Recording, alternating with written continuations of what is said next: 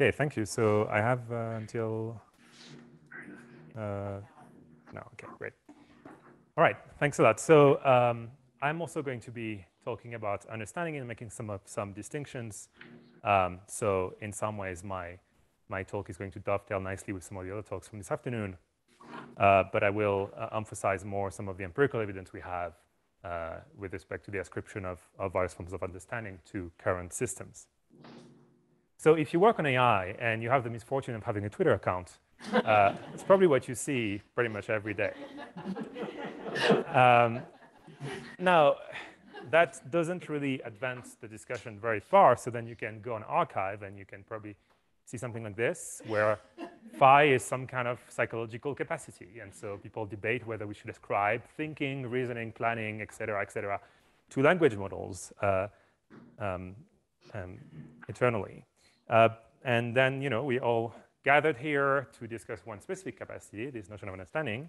And I mean, that's progress. We can, we can all uh, um, uh, really nitpick about what we mean by that and uh, bring forward evidence to discuss that. Uh, but of course, as a philosopher, as you've already heard already, um, philosophers are usually the gadflies who come in and say, what do you mean? What do you mean by understanding? Um, so I think there are, there are two pitfalls here when we talk about understanding, and we raise the question of whether machines or artificial systems understand, period. Um, one of them is uh, what we might call the single construct assumption. We've already heard uh, um, some uh, uh, suggestions along these lines, namely the idea that there's a single notion of understanding that's relevant to human-machine comparisons. The risk here is the risk of talking past each other, right? You have a notion of understanding in mind, someone else has a different notion, so you don't actually substantively disagree when you debate whether uh, certain, a certain system has anything like understanding. And so a remedy to that is to distinguish between different kinds or different aspects or different dimensions of understanding, as we've already heard today. The other pitfall is what we might call the, the all or nothing fallacy, which is that either a system understands in some specific sense, like we do, or it doesn't understand at all. Uh, and here the risk is perhaps of missing nuance, perhaps also of uh, falling prey to some form of, um, of anthropomorphism, oh, sorry, anthropocentrism, where just because a system doesn't uh, have exactly the same competence as we do, uh, we refuse to ascribe any degree of competence at all to that system. So again, we've already heard about this earlier from Dave in particular. I think the remedy here is to accept that some of these notions of understanding might come in degrees.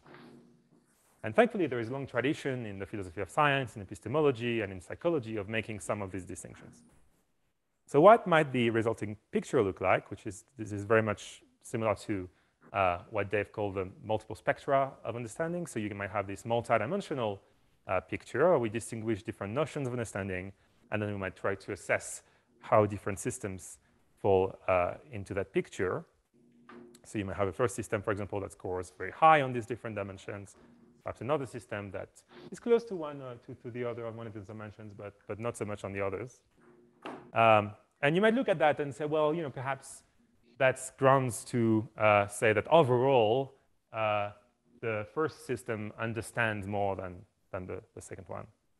But you might also end up with a picture that looks like this, uh, where the second system here uh, scores higher on one of these dimensions than the, the other. And so the question is, can you still say that this, this first system understands more than the second system? It's, it's not obvious. So this is something that is very familiar for many concepts we have. One example would be the concept of health. Um, say that someone has severe depression, depression someone else has uh, some kind of autoimmune disease. Does it make sense to say that overall one is healthier than the other? I mean, perhaps you could if you, you, you, know, you had to do it with the forced choice, but it's not that informative, and we might want to distinguish between different dimensions of health, uh, some of which are more related to mental health, uh, other not uh, alongside which to discriminate these two individuals. Okay, so we've already heard about some potential kind of distinctions related to this notion of understanding that might uh, help us uh, avoid verbal disputes. Uh, so I think one of these big distinctions that uh, um, we've heard about in this workshop is between some linguistic forms of understanding, understanding language, versus non-linguistic form, non-linguistic forms of understanding. Um, some forms of understanding that we've already discussed and that I'll discuss uh, do not necessarily fall squarely into one of the the other categories. So perhaps understanding analogies could be, uh, you know, understand uh, understood as falling uh, uh, in both of these categories. understanding rules as well. You know, you can might understand syntactical rules when you understand language, but there are rules in other domains as well. Um, so I'll talk about that. Uh, as Dave discussed, there are also dis distinctions between explanatory and, and non-explanatory forms of understanding. Uh, and, and that seems very important when we discuss whether a certain system understands uh, um, to, to clarify whether we mean that uh, it has to provide something like explanations or not to qualify. And finally, as was also discussed by, by Dave, really scooped me on these distinctions, uh, there are experiential versus non-experiential forms of understanding. I think that's probably the, the, the lowest hanging fruit to uh, make some more um, categorical conclusions, as, uh, as also Dave also suggested. I think um, we'd be hard pressed to say today that the systems we have have an experiential form of understanding in the sense that we'd have something like a feeling of understanding or uh, these, these aha experiences that are discussed in the, in the literature in, in philosophy of science. I'll just minimize that. Um, but uh, what people who discuss these feelings of understanding in, in this literature in the philosophy of science also say is that these feelings of understanding are, are, neither sufficient nor necessary conditions for other forms of understanding. So it is still very much meaningful to discuss whether uh, systems that lack any kind of experience might have these other forms of understanding. Okay, so let me start with uh, linguistic understanding. We already heard a little bit um, about that, even though that hasn't been the main focus of, of many of the talks. So do current systems understand language? I have to confess that generally because of this uh, uh, the vagueness of the concept of understanding, I generally try to uh, avoid that notion uh, because again, it also brings in all these connotations about awareness and consciousness and, and you know, uh, the feeling of understanding. So generally I try to, I prefer to talk about semantic competence. And we can make some further distinctions, right? So uh, we can further divide different aspects of semantic competence when it comes to language. So the first distinction would be, would be between lexical and compositional or structural competence, right? So understanding of word meanings versus understanding of more complex expressions. And another distinction that is somewhat orthogonal to that one, and I was already uh, mentioned, especially by Tal, was the distinction between inferential and referential competence. So let me try to make this a bit more specific by uh, focusing on lexical competence. So I like this distinction from uh, Diego Marconi, who's written a lot about this, between the inferential aspect and the referential aspect to our understanding of word meaning. So the inferential aspect pertains to our ability to relate lexical items to other lexical items in uh, various uh, intralinguistic performances, such as material inference, paraphrase, definition, synonymy, etc.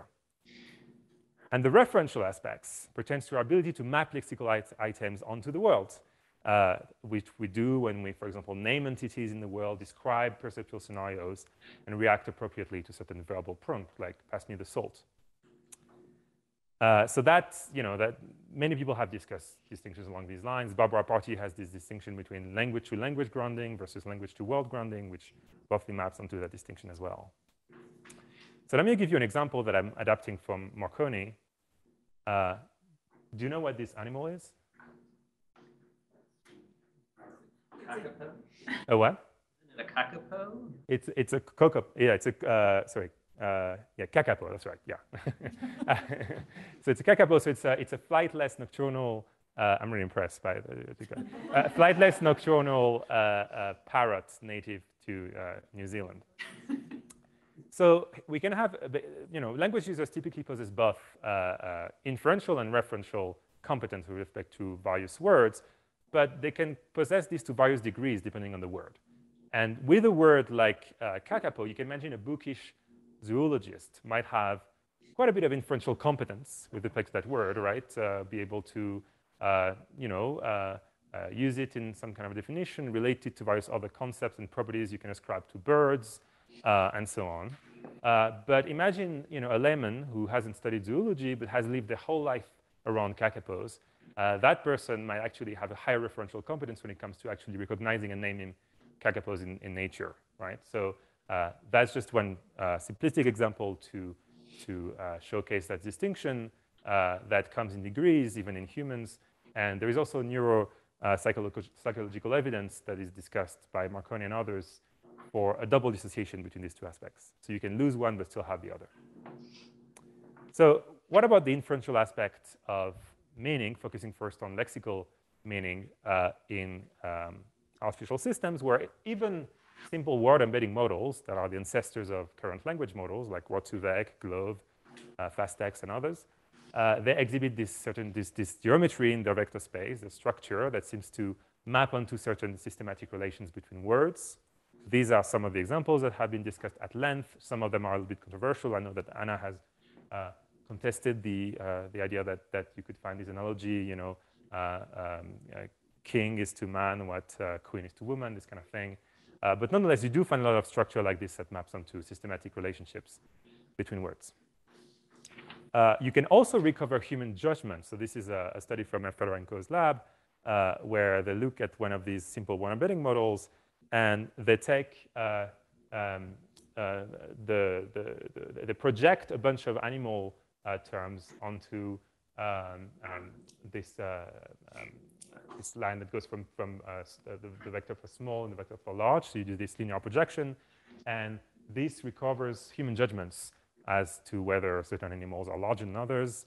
Uh, you can do that with uh, how dangerous animals are and so on. And you, you, can recover a bunch of human judgments about how words are related in this way that encompass a lot of semantic information. Uh, in language models, you get some even more sophisticated uh, um, um, results that pertain to this inferential aspect of language. So this is an example where um, uh, these um, um, Abdou and colleagues used uh, a data set of, of uh, color terms as well as color chips that are represented in, in CIELAB, which is this, uh, this is this perceptually meaningful distance metric for, color, for, for colors. And they use two methods to evaluate the structural alignments between color terms in the space of the, of the language model and uh, the um, and colors in the in the in the color space and they found significant correspondence. You have this kind of homomorphism between the two, uh, and you find that kind of that kind of morphism uh, also with uh, spatial terms uh, pertaining to geographical topology um, and in other domains as well. Uh, you can also look at other intralinguistic performances discussed by Marconi, such as summarization, and current language models on recent evaluations fare very well in terms of the preferences of human annotators. So this is InstructGPT-3 versus FreelanceWriter uh, on uh, various um, tasks related to, to zero-shot summarization, where uh, basically they, they uh, perform just as well. Um, so language will have that ability to, to use words uh, in paraphrases, uh, definitions, and summarization. you can even align the vector space of a, of a language model trained on text only with the vector space of, a, of an image model, a computer vision model that is trained on images. So you have also this morphism uh, between uh, the geometry of, of, uh, of uh, um, uh, word vectors in a, in a, language model and the geometry of, of um, vectors corresponding to object classes in, a, in, an image model. So there are two, two recent studies that showed this. Uh, and uh, uh, that's also quite interesting and suggesting that there is all of these very rich structure in the geometry of, of the, the, the, vector space of a language model that contains a lot of systematic relationship between words that informs how these words are used in language. So moving from uh, word meaning to something a little, a little, bit, little bit more compositional, uh, here is a, a task um, that with some colleagues we uh, designed for, for this big benchmark uh, project called Big Bench, spearheaded by uh, Google Brain. Uh, so the idea is that uh, one thing that people assumed in the literature to be, to be quite difficult to do for language model would be to parse novel conceptual combinations. So to combine two concepts, two words into, into a phrasal noun and really grasp how that phrasal noun should be used. and that requires compositing lexical meanings with minimal amount of syntax, because the order in which you compose the two concepts sometimes matters, uh, with some background knowledge. So here is an example from our task. We had very different, many different subtasks that were inspired by the work of Gregory Murphy, uh, but some of our tasks include made-up words uh, to be sure that these words have, been nev have never been seen before by the language models. So here's an example. The word pleater means an object that flies by flapping wings, and the word nith means an object that has no feathers. Question, which of the following sentences best characterizes pleater niths? And then you have four sentences, and it's a multiple choice uh, task. And uh, you want the model here to pick the first uh, sentence. So this whole benchmark was designed to be hard for language models and easy for humans. And we were quite pleased initially to see that uh, up to GPT-3 and including GPT-3, the models were basically performing at random on our tasks. And the best humans were performing per perfectly, and the average human was performing really well. So, you know, there was some evidence that these models don't really get these novel conceptual combinations. There is, they're, they're not able to uh, uh, use them appropriately in sentences or, or, recognize sentences that use them appropriately. And then Google came out with PaLM uh, uh that we tested on the task, and it uh, all of a sudden leaped to uh, average human performance. Um, so there is clearly a, a, a, distinction here. Something happens. Uh, we went back to our uh, task and tried to find some alternative explanations in terms of shortcut learning and heuristics. But we included a lot of distractors precisely to, to try to rule that out. We included, again, these made-up words. And it seems quite difficult. I would be interested if you have any suggestions, but to explain the performance in a very deflationary way that doesn't, uh, you know, uh, commit us to saying something like these models can grasp uh, these conceptual combinations in some, in some non-trivial sense. That's for the more inferential aspect of meaning. I won't say too much about the referential aspect uh, because we've heard a little bit about this already and it would, it would take a whole talk. Um, but I just want to mention uh, with uh, my colleague Dimitri Coelho Mollo, we recently reprinted this paper that argues uh, you know, very much in the spirit of what uh, Rosa talked about this morning, uh, but going a little bit further in, the, in, the, in what we're prepared to conclude, that text-only language models are able to uh, achieve what we call referential grounding, so able to have meaningful representations that are about uh, uh, the reference of, of, words in the world, and they're not just inducing intralinguistic functions, but world-involving functions with the right kind of descriptive normativity. And we think these models, the, the, the, the most uh, convincing way to argue that these models can get that is to look at uh, fine-tuning with RLHF, reinforcement learning from human feedback, um, which includes normative goals, including the three H's, uh, harmlessness, helpfulness, and honesty, and these are normative goals, and for honesty, it's an epistemic goal. Um, and we think uh, this is one of the source, potential sources of world-involving functions uh, uh, when you optimize on that particular uh, learning objective uh, that goes beyond uh, intralinguistic functions like next word prediction. We actually think you can get that even without RLHF, but I'm not going to get into that. My point is that there, I, you know, I think there are good arguments to, to make the claim that language models can also achieve some uh, referential competence. So that's for the more traditional aspects of linguistic competence. There's also this whole uh, kind of worms of pragmatics, uh, which goes a little bit further uh, beyond the face value meaning of uh, uh, sentences. Um, and it's very much controversial what, it, what kind of capacity really you need to have in order to, to parse the pragmatics of language um, especially where you need to have really sophisticated capacities like theory of mind or the third degree theory of mind. Um, this recent uh, study from. Fedorenko's lab uh, is quite interesting. Uh, they tested language models on humans on uh, seven different pragmatic phenomena uh, with very fine-grained uh, comparisons using zero-shot prompting on an expert curated set of English materials. And they found that the largest models achieve high accuracy and match human error patterns. And uh, they also found evidence that models and humans are sensitive to similar linguistic cues.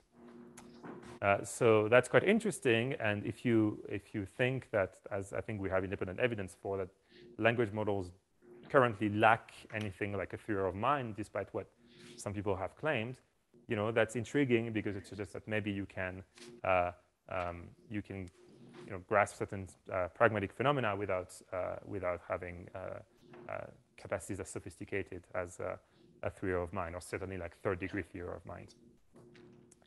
Okay, so that's for uh, the more linguistic forms of understanding. What about non-linguistic forms of understanding?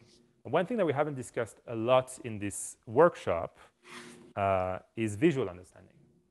Uh, so, um, you know, we humans have a very sophisticated uh, ability to understand visual scenes, although it can sometimes be tripped up. There are some challenging cases where it's not quite clear uh, what's going on. So there are failure modes, but, uh, you know, by and large, we are pretty good at that. So what has happened uh, in, in the field of deep learning in that area um, one thing I'd like to point out is that in the set of, set of questions sent by Melanie, uh, the questions weren't specifically about language models. Uh, they were about AI systems generally. So I will actually talk about some systems that are not uh, language uh, models, but, but vision models using vision transformers.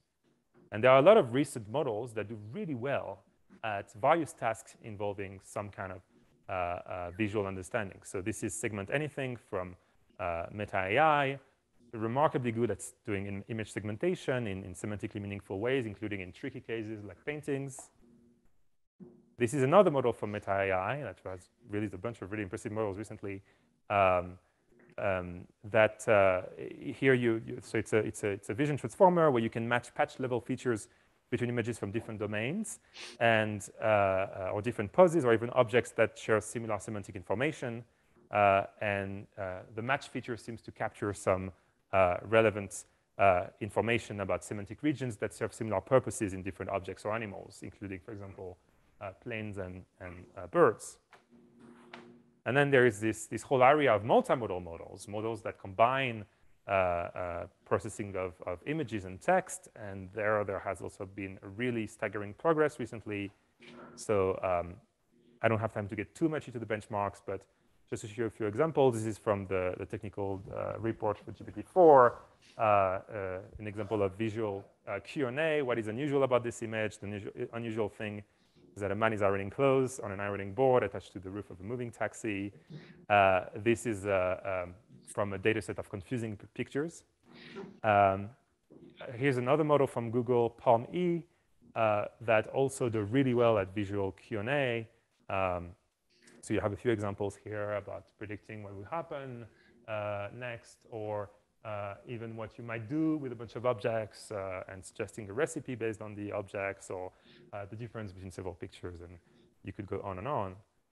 Um, and uh, with this particular model, PaLM-E, you can also uh, plug it into a robot and give natural language instructions to the, to the robot and have the model pass these instructions into low-level policies that are actionable for the robot, such as um, you know, bring me a bag of chips or sort the blocks by colors into, into corners.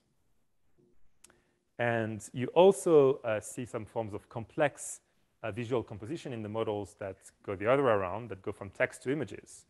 But I just want to emphasize that here the architecture and the objective function, the, the, the learning objective are really key. So the models that are trained with contrastive learning, we've talked about this a little bit with the talk, um, that is the model whose text encoder is trained with uh, contrastive learning are not doing very well. So here's a very complex prompt. A wombat sits on a yellow beach chair while sipping a martini that is on his laptop keyboard. The wombat is wearing a white Panama hat and a floral Hawaiian shirt. Out of focus palm trees in the background. DALL-E, which uses this uh, encoder using contrastive learning, doesn't do very well. Um, I, there is evidence that explains why this is the case. We could get into that. But other models that use, for example, a frozen language model as the text encoder do really well. So that's an example with Parti from Google where um, you get basically all of the elements that are in the prompt. Okay, so that's for uh, visual understanding. Uh, again, absolutely not suggesting that these models are as good as humans. We'll come back to that. I just want to highlight some of, of the recent progress in that domain. Um, there is this uh, domain of understanding that, that sits a little bit on the fence between uh, uh, linguistic, visual, and other forms of understanding. That's the understanding of analogies that, that Melanie and others have worked a lot uh, on. Uh, and here too, there is some uh, interesting, there are some interesting results. This is from a paper by Taylor Webb and colleagues uh, that have tested language models and humans on a bunch of different analogy, analogical reasoning tasks, including Raven's standard progressive matrices, but transcribed to text, letter string analogies from the work of, of Melanie, uh, verbal analogies and analogies between stories. And the picture that emerges there as well is that you have uh, pretty impressive performance from the language models, including GPT-3 and even more so with, with GPT-4. Um, you know, you can, this is totally anecdotal, but you can also ask uh, GPT-4 to do these kind of uh, uh, analogy matrices, uh, comparing two really different concepts and suggesting, you know, some analogies between them. Um, and so here is an example with black holes and love. Uh, I don't have time to go into all of this, so I'll skip this pineapple and democracy, rocket ship, and stand-up comedy. My point is that actually, you know, the model is actually able to find some, uh, uh, you know, actually pretty clever, thought-provoking analogies between these two different concepts. And here is an example in the visual domain, domain of visual analogies, where uh, Brenden Lake and Gregory Murphy had alleged that uh, um, you know, multimodal models couldn't really understand certain forms of visual analogies, like uh, the fact that all of these animals seem to be using something like an umbrella. Uh, and here too, there is a lot of progress. So here is Open Flamingo, which is an open source replication of Flamingo that I, I, ran, I ran these examples on. Uh, and you know, it, it, it, spontaneously suggests umbrella as the, as the, the, the relevant concept here uh, to uh, explain these images. Um, okay, so a slightly different domain of understanding pertains to the understanding of rules, what we might call procedural understanding. Um, so one thing I'm quite excited about is work that goes beyond looking at behavior. I've given you a lot of uh, uh, evidence from behavioral studies here, but work that actually opens up these models and look at uh, whether we can interpret some of the circuits uh, inside these models and some of the dynamics of, of uh, training. Um, and so within that field of mechanistic interpretability, there are some research, there's some research on grokking, which is this phenomenon that uh, the loss on a particular task uh, can uh, uh undergo this nonlinear transition phase and suddenly decrease, uh, where something happens seemingly when the model uh, seems to get a particular task. So this is an example with a model, a small model trained on, on modular addition. And what this particular paper showed is that you have this kind of three-phase um, uh, phenomenon where at first the model is just memorizing input-output mappings because that's the laziest you know, way to do it to, to reduce the loss, the shortcut. And then it starts actually developing a circuit that implements the algorithm. And then once that's done, it's, there is the cleanup phase where it's just unmemorizing the input-output mapping I had memorized to then perform much better on the test set. So that, I think, is really interesting. And that's evidence to me of something that uh, you know you could uh, perhaps describe as um, understanding, implementing a rule, inducing a rule, something like that. Um, that's not just about you know uh, content-specific dispos dispositions to go from input and output. Uh, there is also a lot of really interesting work with uh, games. this is a particular project called Othello GPT, where a GPT model was trained on transcripts of the game Othello. And after training, not only is the model able to do uh, uh, legal move with, with, extremely high accuracy, so it's just able to predict legal moves without having never been told about the rules of the game, but you can also do some mechanistic interpretability, and you can train a, a linear probe that uh, can decode the state of the board, and you can even intervene on that, on that uh, internal representation using that probe uh, to change the represented state of the board uh, leading to different predictions about different legal moves. Uh, so that gets even beyond what we might call understanding of rules and closer to what we might call something like a world model. Two more minutes, okay. Um, okay, so this is, a, this is going a little bit fast, but uh, I wanted to give a, uh, these different examples. Okay, so explanatory understanding. That's something that Dev already talked about. There is a distinction in the literature and epistemology and philosophy of science between knowledge and understanding, where knowledge is arguably a lower bar because it can be acquired for test, from testimony, right? Whereas explanatory understanding uh, deals with uh, the ability to art articulate reasons and explain uh, phenomena.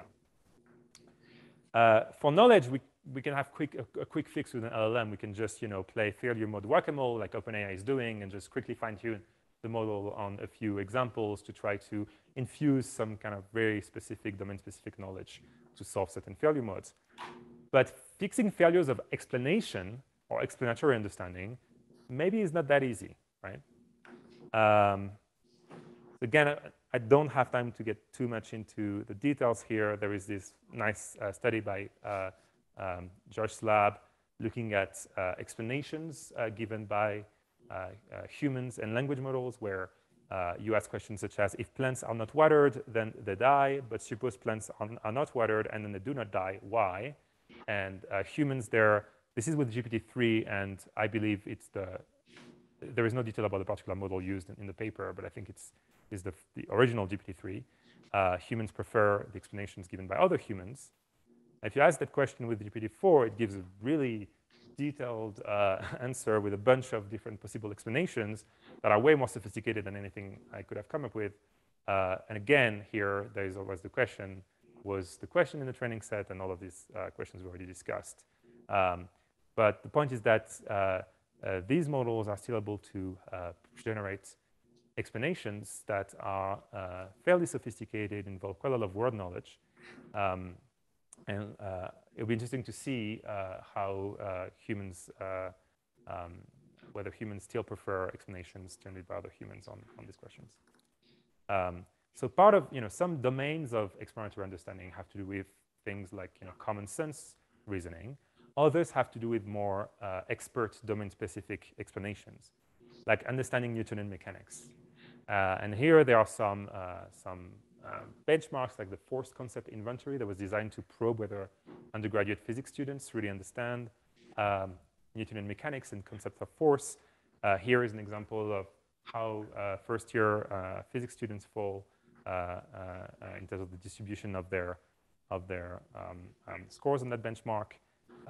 and there is this recent paper by this physicist called West who's showing that GPT would fall above the 96th percentile uh, on that particular benchmark. Does it have an explanatory understanding of Newtonian mechanics? Again, the problem here is there might be some dataset contamination. Um, and so that leads me, and I'll conclude very shortly, to this big issue that we've more or less all been grappling with.